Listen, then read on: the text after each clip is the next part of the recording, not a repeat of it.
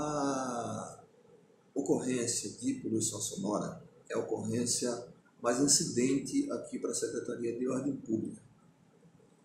Para nós ela é muito objetiva.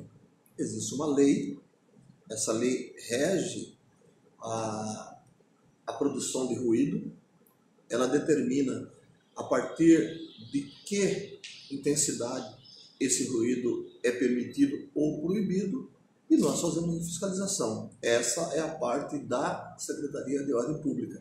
Ela é muito objetiva. Né? Eu não sou legislador, eu sou fiscal. Eu cumpro a lei que existe. Todavia, essa lei, ela, ela conflita, ela coloca em choque né? situações de quem deseja trabalhar, principalmente com música, né? e pessoas que querem o descanso.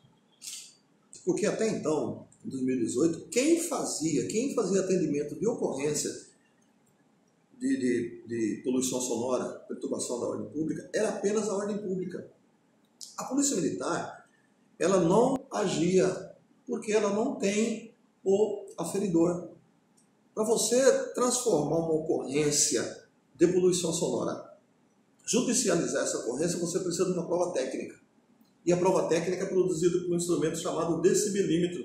E aqui em Cuiabá, a única, o único órgão público que tem, que possui o decibelímetro, somos nós. Então, em 2018, a polícia recebia através do 190 um pedido, transferia para nós. E aí eu tinha pouca, eu tinha pouca estrutura, eu não conseguia atender toda a demanda de Cuiabá. O que, que acontece em 2019 para nós reduzirmos esse número quase que pela metade? Nós atendemos em 2019 1.127 chamados. Reduzimos mais do que a metade. Por quê? Porque nós estabelecemos um diálogo com a Polícia Militar, estamos fazendo operações integradas com a Polícia Militar todos os finais de semana. A minha equipe vai com um corpo técnico para a aferição e a Polícia Militar vai, dar pra, vai conosco para dar uma sustentação institucional de força, de autoridade. Porque essa ocorrência de poluição sonora, via de regra, ela é muito sensível. Nós já tivemos viaturas danificadas, nós já tivemos equipe agredida. Você vai lidar com gente que está fazendo festa. Né? Você, vai, você vai lidar com gente que já bebeu, que está alcoolizada. Aí você chega e fala assim, olha, quero que você baixe o som.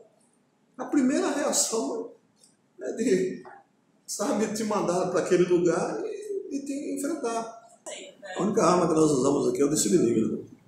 Não, no caso PM, né? Vocês não, não, não seria, mas teria mesmo a necessidade de, de, de entrar armado se, é, se consta isso Não, é, é, é protocolo policial. Policial vai no. É rotina do policial. Não O tem policial está armado, não tem como ele jogar a arma fora para ir abordar um É, camarada que está produzindo barulho. Pô. não Então vai com a arma, vai lá com a 12, vai lá com a metralhadora. E quem tiver com medo, o problema é dele.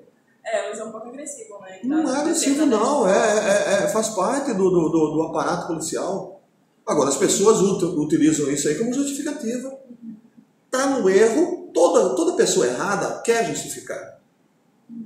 Tá? Ela não consegue dizer, olha, eu estou atrapalhando o vizinho, eu estou produzindo som acima do permitido. Ela fala assim, ah, eles vieram aqui e aprenderam minha guitarra.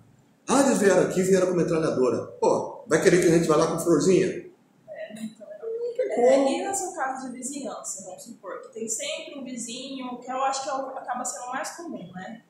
Coloca um som, tal, o último, aquele vizinho sempre dá problema. Se essa pessoa for várias vezes ligar, sempre esse vizinho, como que ele vai ser notificado, vai pagar uma multa, o que Então, acontece? a, a, a, a sanção ela tem um processo gradativo, gradual. né? A primeira vez que você é